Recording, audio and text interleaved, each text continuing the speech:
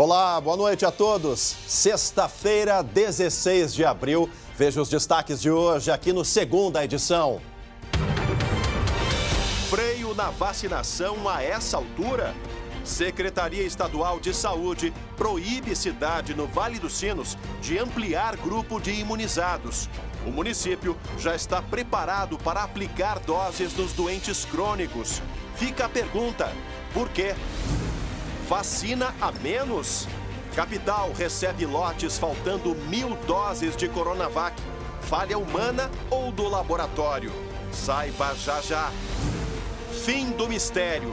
Veja por que jovem de 21 anos promoveu ataques em série a lojas da capital e região metropolitana.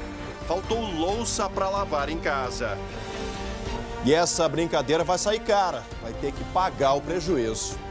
O SBT Rio Grande, segunda edição, começa agora. E eu te convido. Vem com a gente.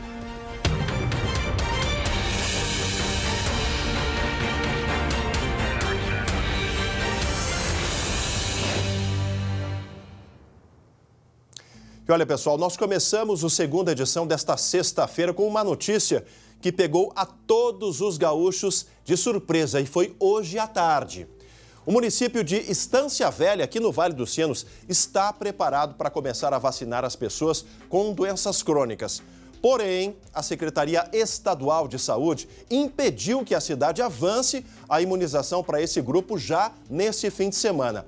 E justo quando anuncia mais uma semana em bandeira preta no modelo do distanciamento controlado aqui no Rio Grande do Sul. Eu confesso para vocês que até agora eu não entendi as explicações da secretaria, mas eu vou conversar com a Aline Schneider, que conversou com o prefeito, né? enfim, conversou com as fontes Vamos ver se tu tem mais sorte, porque a nossa produção não conseguiu entender até agora, viu, Aline? Boa noite, minha amiga. Qual é a explicação?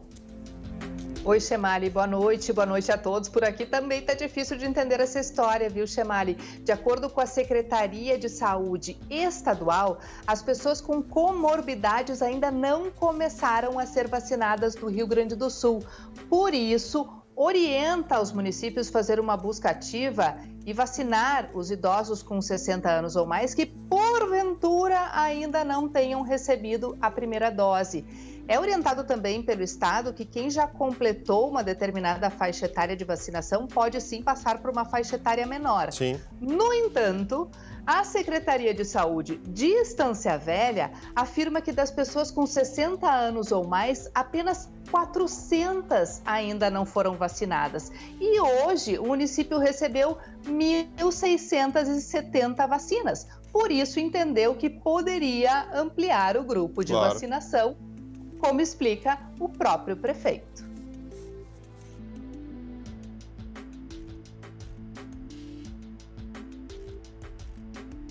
Já já a gente vai recuperar a posição do prefeito de Estância Velha.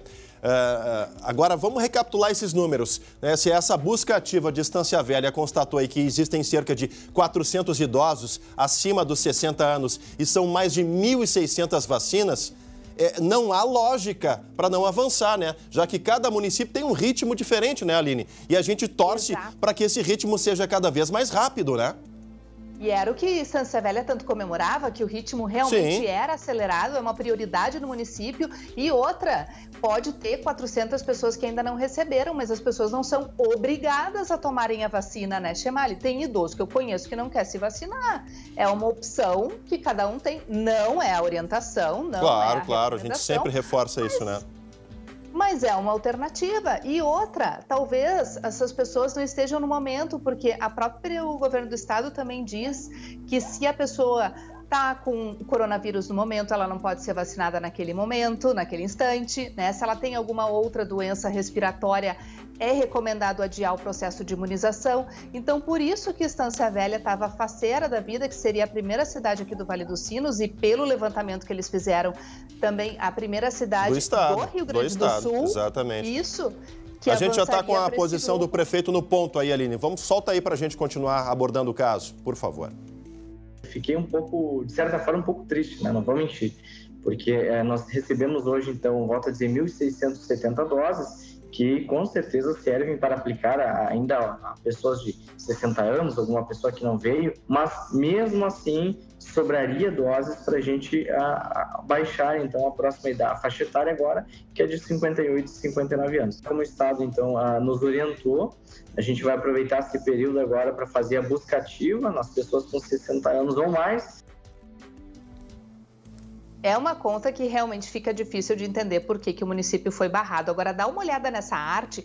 Quem são as pessoas com doenças crônicas que, quando chegar o momento oportuno, vão poder receber as doses?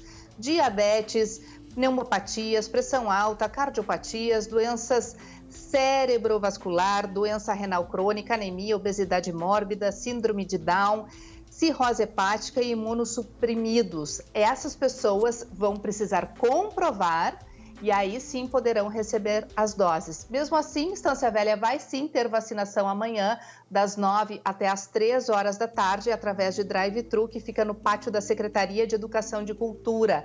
E ainda nos postos de saúde da cidade, se porventura alguém não recebeu a imunização. Agora, essa notícia é de cair os butiá do bolso, né, Chimar? Sem dúvida, minha amiga, sem dúvida. Obrigado pelas informações está aí direto do Vale dos Sinos. É, e a gente continua aqui esperando uma explicação que a gente possa entender e que o pessoal de casa também entenda da Secretaria Estadual da Saúde. A nota não foi clara e a posição ainda não está clara para a opinião pública, para a comunidade do Rio Grande do Sul. Já aqui em Porto Alegre, começou a vacinar hoje, a capital gaúcha, as pessoas com mais de 62 anos quem acompanhou esse primeiro dia de, de vacinação, de imunização dessa faixa etária, Guilherme Roquete, traz os detalhes. Boa noite, meu amigo. Boa noite, Chemali. Boa noite a todos. Pois é, a ampliação da faixa etária foi definida nessa tarde quando as doses que chegaram pela manhã foram disponibilizadas então pelo estado para a capital.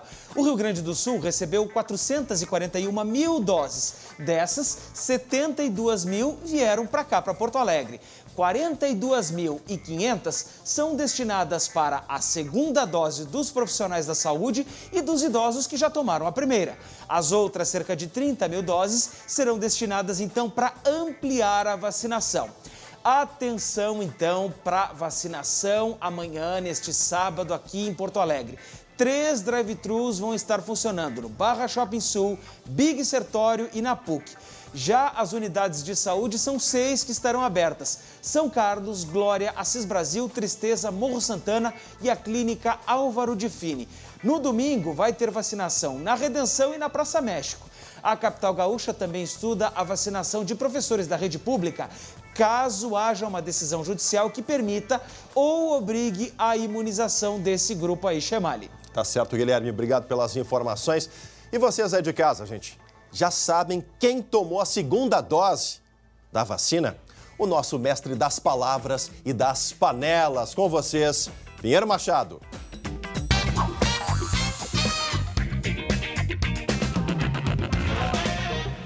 Olá! Atenção, atenção! A segunda fase da campanha de vacinação já começou. Você que já fez a primeira dose da vacina e informe-se para fazer a segunda dose. Como se sabe, é indispensável fazer a segunda dose para completar o serviço, digamos assim. A campanha da vacinação parece estar avançando e cada um de nós é responsável cumprindo as orientações e também ajudando amigos. Esta é uma causa de todos. E amanhã, no Anônimos Gourmet, uma delícia para esquecer um pouco a pandemia. Não perca! Voltaremos!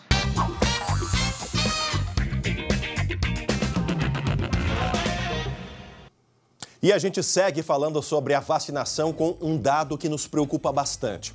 A capital contabilizou 1.251 doses a menos do que o previsto em lotes de Coronavac. A Anvisa investiga casos semelhantes em todo o país. Como nós antecipamos aqui ontem, no segunda edição, aqui no estado, a Vigilância Sanitária fez um teste e constatou que as ampolas dos imunizantes só traziam nove doses e não dez, como deveria ser. Deixa eu conversar com a Luciana Incoma, que está acompanhando esse caso e tem mais informações. Boa noite, Lu.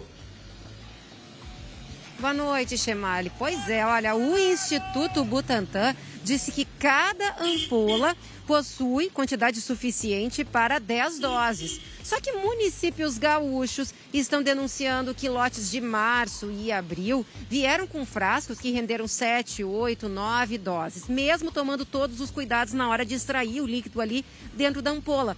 Eu conversei inclusive hoje com uma enfermeira que explicou que é tudo feito com muito cuidado, até para não ter desperdício, não ter perda. Vamos ouvir.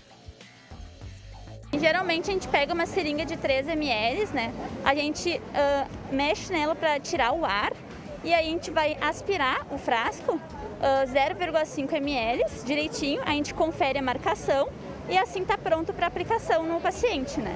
Tem que sempre fazer com bastante calma, né, para não ter nenhum erro de dose a mais, dose a menos, sempre tem que ser 0,5 ml uh, completinho.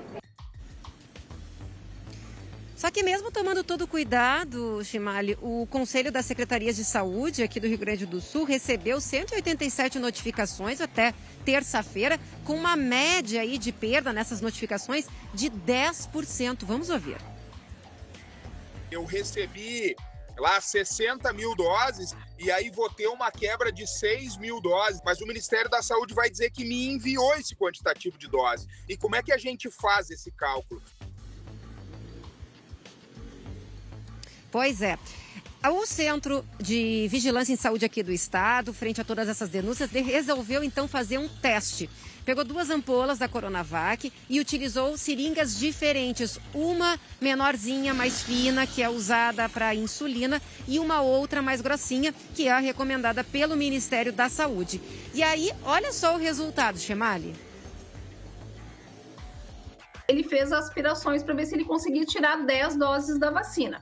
Com a seringa de 1 ml, ele conseguiu tirar 10 doses, mas com a de 3 ml não. E isso é importante só para deixar tranquilo os profissionais da ponta que não, não tem uma relação direta com treinamento, tem uma dificuldade que a gente não sabe se tem a ver com quantitativo de doses de vacina, com o formato do frasco ou com alguma questão particular da seringa.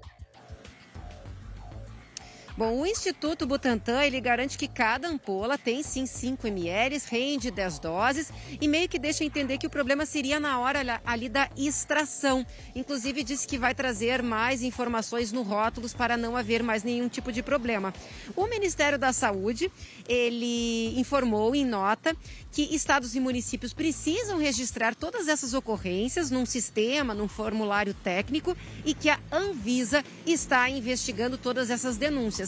Inclusive, a Anvisa diz que aumentaram as queixas em relação à extração, uhum. ou seja, menos doses por frasco, e que está fazendo a apuração de todos os casos e que deixa a população mais tranquila, dizendo que esse tipo de problema, na verdade, é considera considerado de baixo risco, porque, por exemplo, não tem risco de óbito, né? É uma questão muito quantitativa, claro, né, Chemali, envolve questões de investimento, de dinheiro e de mais pessoas que poderiam, daqui a pouco, estarem sendo imunizadas nesse momento. Sem dúvida, Lu. Daqui a pouco a gente volta a conversar com a Luciane. O importante é não perder nenhuma gotinha de vacina, porque é um líquido precioso que salva vidas. A gente fala agora de segurança pública, porque quatro pessoas foram presas e 20 motos foram recolhidas em uma operação na Freeway na madrugada de hoje. A Polícia Rodoviária Federal fez uma grande operação para acabar com um evento clandestino de racha na rodovia. Os eventos acontecem nas noites de quinta-feira e madrugadas de sexta. A PRF bloqueou os acessos à freeway e conseguiu interceptar as motos que fugiram da Brigada Militar na Avenida Assis Brasil. Uma delas era roubada e foi recuperada. O condutor foi preso por receptação. Mais de 50 multas foram aplicadas. Outra perseguição aconteceu na rodovia do Parque. Criminosos em uma Tucson chegaram a jogar a arma pela janela. O condutor fez manobras perigosas. Em alta velocidade, ele acessou a freeway e só parou embaixo da nova ponte do Guaíba. Os três ocupantes foram presos. Em Novo Hamburgo, a Brigada Militar recuperou um Voyage. O carro havia sido roubado no início da semana e estava sendo usado para cometer assaltos no bairro Rio Branco. E olha só, acabou o mistério que desafiava a Polícia Civil aqui na região metropolitana. Um jovem de 21 anos cometeu os atos de vandalismo em mais de 50 estabelecimentos aqui na Grande Porto Alegre. Ele agiu com um comparsa. Ambos se apresentaram à polícia. Esses crimes aconteceram na terça-feira à noite. Vocês lembram? Mostramos aqui. E a Luciane tem mais informações porque o número de alvos não para de subir, né, Luciane? Mas está tá resolvido esse problema. Qual, qual foi a explicação da polícia? Olha, Chemalia, além de encontrar a autoria dos crimes, a polícia queria muito entender por quê, o que estava por Sim. trás desses ataques, né? Esse jovem de 21 anos, ele confessou o crime nos depoimentos e olha só a motivação que ele contou para a polícia. Ele falou que foi por mera, mera diversão, né? isso, isso nos chama atenção. Uh, até vou referir que seria uma sensação de diversão, alegria, superioridade e prazer. Isso que ele teria sentido no momento do, do, dos atos. Uh, ele realmente que se, se espelhou em relação a alguns jogos uh, que ele utiliza e também a um filme que ele teria assistido, onde ele também teria tirado essa inspiração. É, o filme é Os Fracos Não Tem Vez. Vê se pode, né, Chamali? Lembrando que os ataques aconteceram na terça-feira à noite. E aí, desde então, os policiais foram atrás das câmeras de segurança, que sempre mostravam um caminhão branco, né, um caminhão baú. Chegaram então a placa desse caminhão, foram até o proprietário e aí chegaram ao filho dele, esse jovem de 21 anos. Bom, o motorista que estava junto nos ataques se apresentou também à polícia, ou seja, esse comparsa, né? uhum. né? Ambos se apresentaram ontem à noite, só que ele disse para a polícia, Chemali, que ele foi forçado a dirigir. Ele é empregado, né, do, do pai desse jovem. Vamos ouvir o que, que a polícia disse. O motorista do caminhão, ele alega que em alguns momentos chegou a pedir que o rapaz uh, parasse de atirar, mas ele dizia que o motorista deveria ficar calado, não se manifestar e nem contar para ninguém, porque caso contrário seria demitido. Bom, a arma utilizada nesses ataques é daquelas de pressão, que usa chumbinho, né? Chama ela foi apreendida. Como ela é de uso recreativo, ela não tem maiores restrições. E olha, o prejuízo estimado pela polícia, chama ele, olha, passa aí de uns 100 mil reais. Nossa Muita senhora. coisa. Nossa senhora. Tá certo, Lu. Obrigado pelas informações. Tá aí, gente. Vamos ter que pagar esse prejuízo, né? Não dá para ficar assim. Tem muita gente correndo atrás da máquina por conta da pandemia. Fique agora com o recado dos nossos amigos da Solução Financeira. Agora, para tudo que você está fazendo, está com dificuldades em pagar o financiamento do seu carro, moto ou caminhão? Esse recado é para você que financiou um veículo, mas já percebeu que está pagando por dois. Está cansado das cobranças e ameaças do banco? Chega de sofrer, não pague mais por juros abusivos. Envie agora uma foto do seu carnê de financiamento para o número 983-247663. Você receberá uma análise completamente gratuita e o seu desconto pode chegar em até até 70%, garantido em contrato. Com toda essa economia, chegou a hora de realizar aquele sonho da reforma ou compra da casa própria, da viagem ou qualquer outro sonho que você estava adiando. Repetindo, o WhatsApp é o número 98324 7663 ou se preferir, venha ao nosso escritório na Avenida Benjamin Constant, número 1170 tome um café com a nossa equipe e se torne mais um caso de sucesso. Solução financeira, a solução que você precisa. E ainda hoje tem ídolo de volta ao Colorado depois de 11 anos. A gente volta já já. Uou, uou, o Tyson voltou. Uou.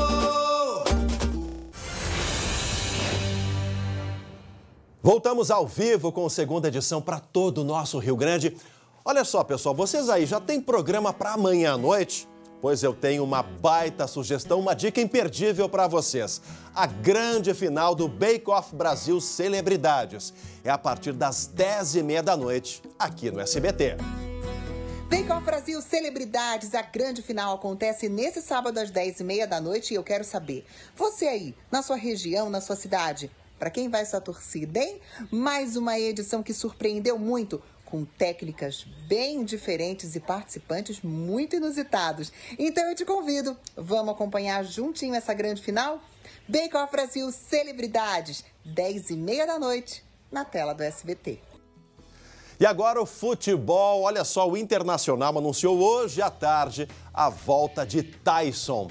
11 anos depois, o meio atacante retorna ao Beira-Rio com um grande reforço para a temporada. Essa confirmação veio com a brincadeira nas redes sociais. O Tyson Day virou um dos assuntos mais comentados da internet no Brasil. Aos 33 anos, Tyson assinou contrato até o final de 2023. Ele vai ser inscrito já na fase de grupos da Libertadores, mas não vai participar da estreia colorada que acontece na próxima terça. Né? Ele foi campeão da Copa Sul-Americana e da Libertadores. Tyson deixou, Tyson deixou o Beira-Rio em 2010 e foi ídolo também no Shakhtar Donetsk da Ucrânia. De volta após o fim do contrato. Tá aí, passou um bom tempo na Europa, ganhou experiência, foi ídolo também por lá.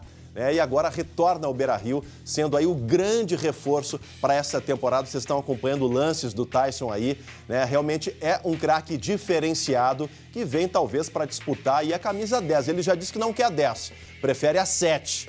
Mas com certeza é realmente um grande reforço. Tá aí a gangorra Grenal se mexendo de novo. Boa sorte também ao Grêmio na semana que vem com um novo treinador. A todos uma ótima noite de sexta-feira, um baita final de semana. Se protejam, tomem a vacina, use máscara, álcool gel e se distancie. Na segunda a gente está de volta. Tchau, tchau.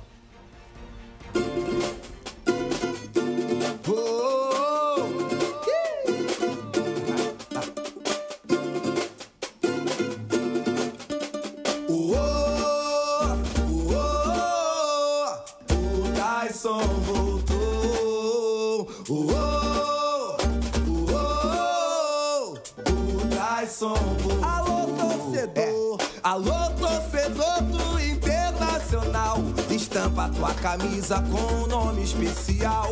O Tyson voltou, ele tá aí de novo. O cara quer a cara do clube que é do povo.